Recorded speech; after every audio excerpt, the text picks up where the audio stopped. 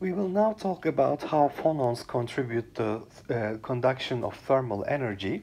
So if you have a rod that has two ends at different temperatures, so one side is cold, one side is hot, there will be heat flow from the hot side to the cold side uh, until thermal equilibrium is reached. So in this case, we have a temperature gradient uh, on the x-axis that is positive, and the flux of heat is in the negative direction, and there is a cross-sectional area a.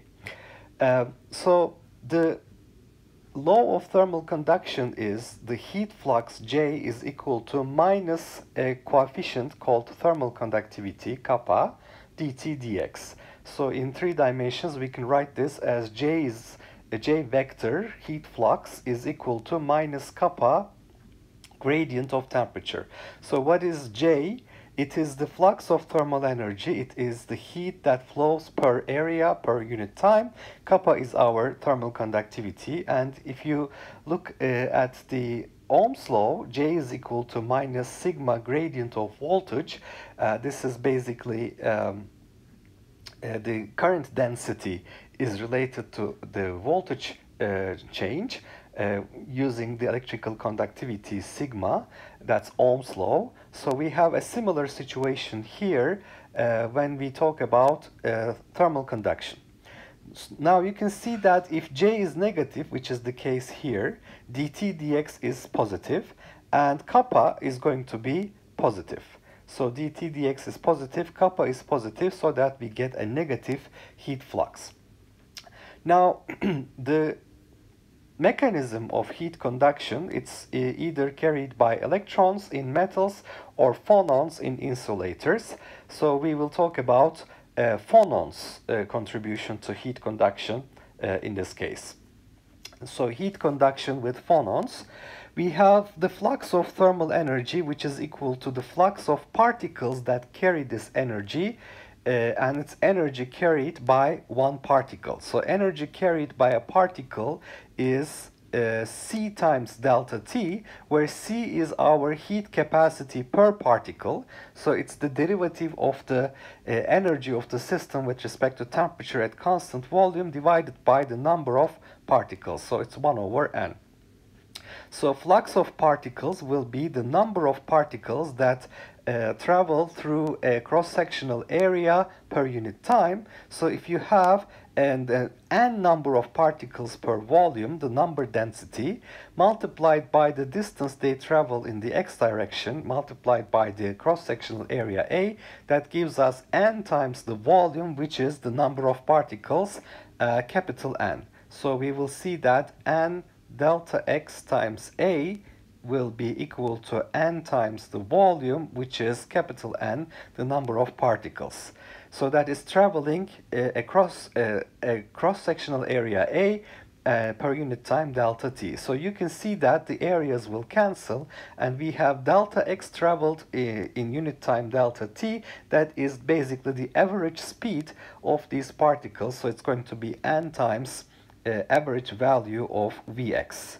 So Vx, our average speed, is uh, basically the mean free path divided by mean free time. What is the mean free uh, time? It's the time it takes between two uh, consecutive collisions on average. It's the distance, uh, uh, and mean free path is the distance a particle travels be, in between collisions on average. So L is related to uh, tau by L is equal to Vx, average value of Vx times tau.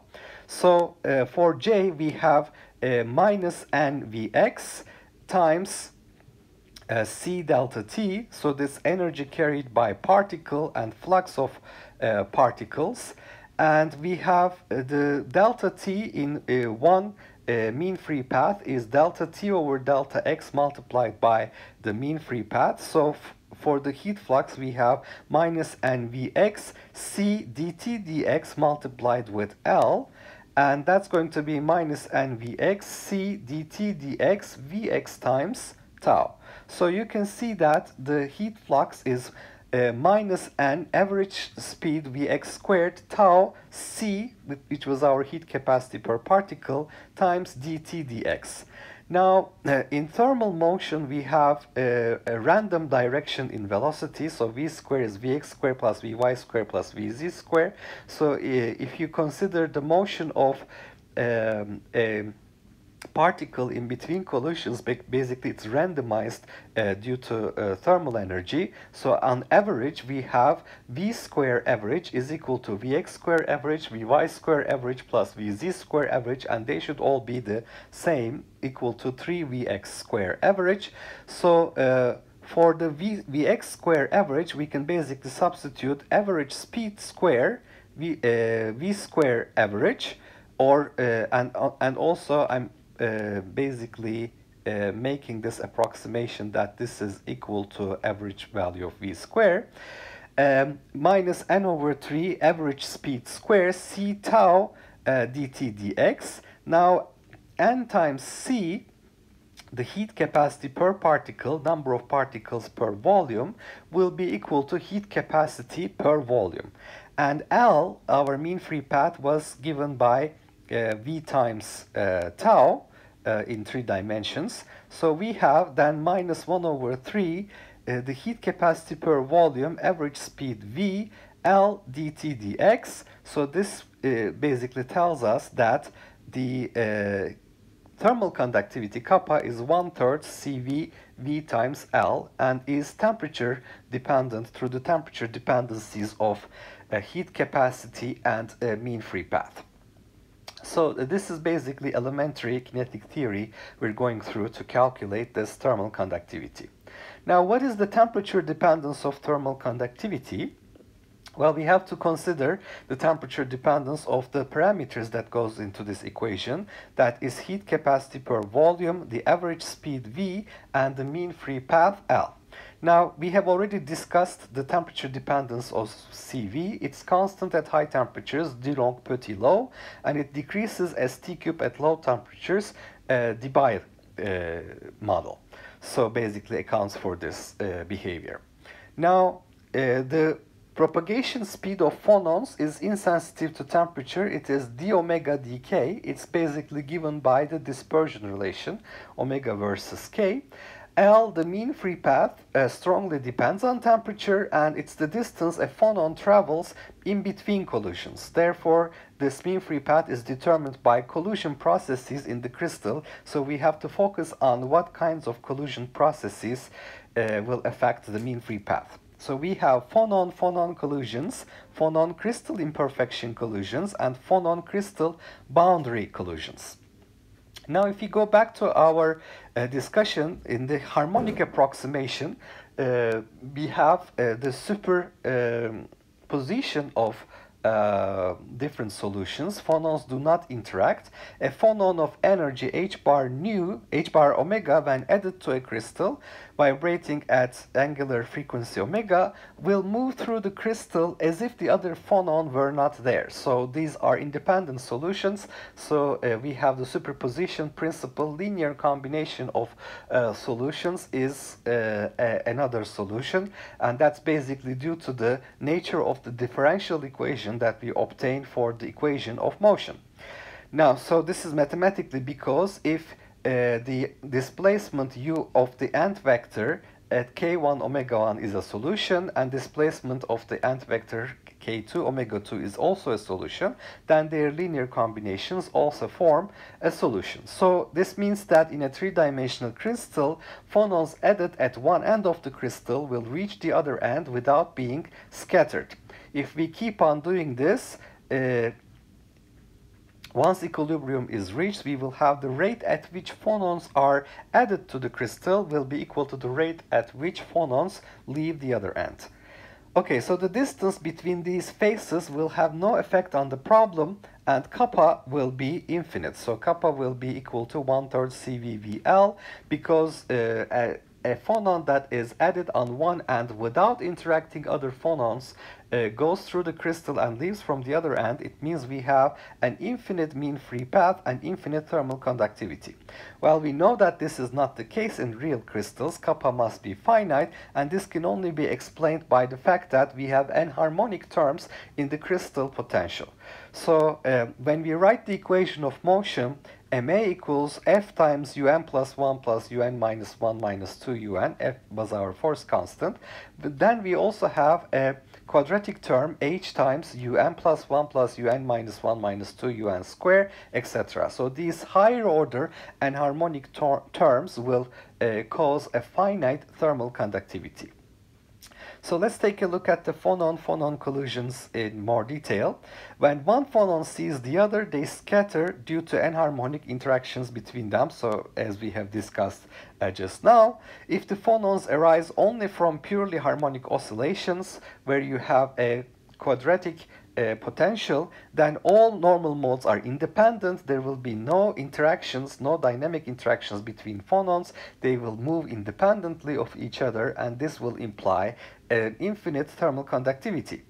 At the beginning, we only considered small atomic displacements so that we could neglect higher order terms. However, when the atomic displacements are considerably large, this assumption is no more valid, and the cubic term, which we neglected, that's the anharmonic term, uh, causes their mutual scattering. So phonon-phonon collisions will become more important at high temperatures when we have large atomic displacements. So the temperature should be greater or comparable to theta Debye so that all um, vibrational modes uh, or most vibrational modes are excited.